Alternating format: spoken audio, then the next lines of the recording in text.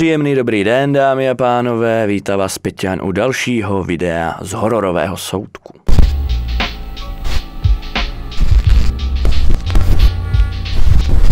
Dneska se podíváme na pět záhad přímo tady z naší České republiky.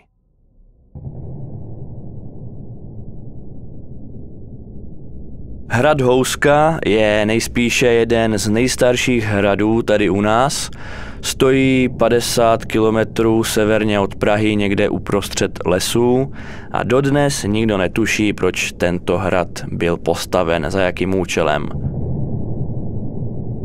To, co se o něm traduje, je legenda, že pod tímhle hradem ve skále byla nějaká trhlina, která vede prej do pekla, kde jsou démoni různá pekelná stvoření. A tento hrad má sloužit jako taková zátka, která drží ty démony mimo náš svět. Dodnes je tento hrad neproskoumaný, badatelé tam stále nacházejí nějaké nové místnosti a falešné zdi. Při proskoumávání potrubí se jim v jednom místě dokonce stále vypínala kamera. Po polezu kousíček dál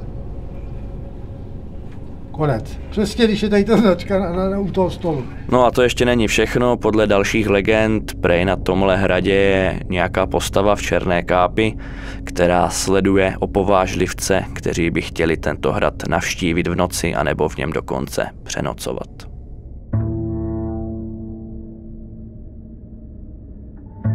Roku 1955 zadržela pohraniční hlídka poblíž českopolských hranic asi 20-letého muže.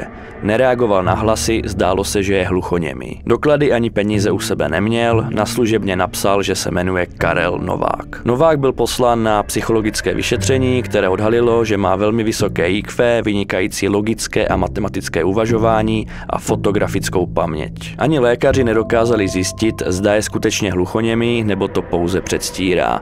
Jediné, co z něj následně STB dokázali vymlátit násilím, bylo to, že jméno Karel Novák si vymyslel, protože svoje pravé jméno si nepamatuje. Po jeho propuštění ale nastal zlom. Nováka srazilo auto, díky čemuž se mu vrátil sluch i řeč. Státní bezpečnost zjistila, že Novák hovoří najednou nejen česky, ale také německy, francouzsky, rusky, anglicky, italsky, slovensky, maďarsky a polsky. Navíc ovládá azijská bojová umění, umí zacházet se zbraněmi, řídit tank a dokonce pilotovat bojové letadlo. Dne 17. listopadu 81 Novák umírá u své přítelkyně. Žena později uvedla, že nervózní Novák odešel do koupelny, umyl si ruce a když vycházel ven, tak padl na zem a zemřel. Patolog přesnou příčinu smrti určit nedokázal. STB nemá zájem na tom, aby se na Nováka vzpomínalo a tak jeho místo odpočinku dodnes není známo.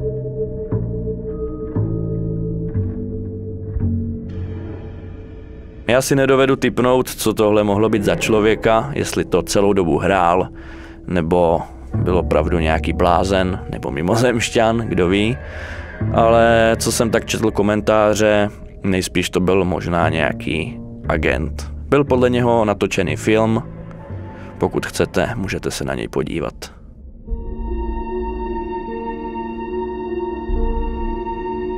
Tehdy 14-letá školačka, která zmizela v červenci 97 na cestě ke své tetě. Z Příšovic podle rodičů vyjela prej kolem páté odpoledne. Ve vesnici se v té době konaly sfiánské slavnosti, takže se v okolí pohybovalo tisíce lidí. Přesto mladou dívku, která si na cestu oblékla módní modrozelenou sukni, nikdo neviděl. Naposledy ji měla potkat spolužačka, když zatáčela k místnímu hřbitovu. Další svědkyně potom vypověděla, že jí míjela autem, když jela z Turnova. Podle ní Ivana nečekaně změnila trasu. Místo toho, aby na křižovatce odbočila na újezd, jela rovně na Loukov. Tam stopy po mladé dívce končí. Policisté nevyloučili ani to, že dívka je někde v cizině. Fotku s popisem dostala společnost La Strada, která pomáhá ženám zneužívaným k prostituci a má pobočky v devíti státech Evropy. Ale ani evropské kontakty nepomohly. Představte si, že máte nějakého kamaráda, kamarádku, když to převedeme do dnešní moderní doby, tak vám napíše na Messengeru, že za 10 minut k vám přijede na kole někdy v létě na stanovačku a nedojede. Nedorazí ani za hodinu, ani za dvě, ani za týden, ani za rok. A jediné, co vám zbyde, tak je prostě informace, že jede k vám a pak ji nikdo nikde nevidí už.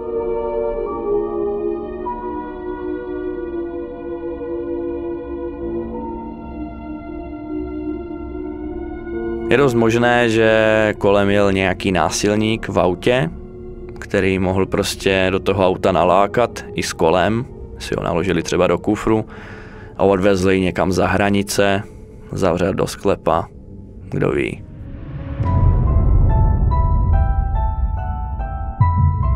Možná si vzpomínáte na video, kde jsem zmiňoval masakr v Amityville a možná vás překvapí, že takový podobný domeček jako v Amityville máme i tady u nás v České republice. Vše začalo na konci druhé světové války, kdy před tímto domem byl zastřelen první člověk.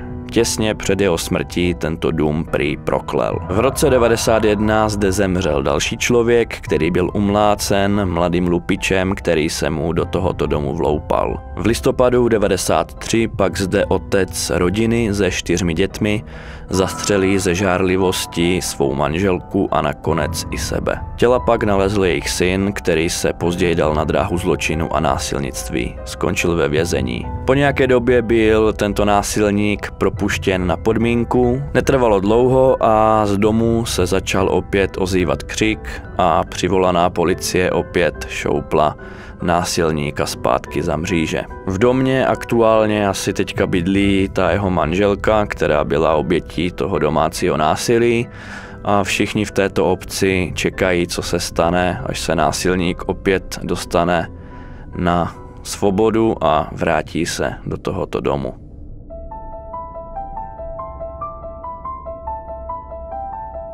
Tak a jako poslední tady máme vymítání ďábla ve Vranově nad Dí. Podíváme se na video, které bylo natočeno klíčovou dírkou od kostela. E, autorem je nejspíš nějaký mladý člověk, protože v pozadí si můžete všimnout smíchu jeho party nebo nějakých kamarádů. Na videu je dále vidět e, několik lidí, kteří stojí u oltáře a přidržují dívku, která z plna hrdla vykřikuje nejrůznější nadávky.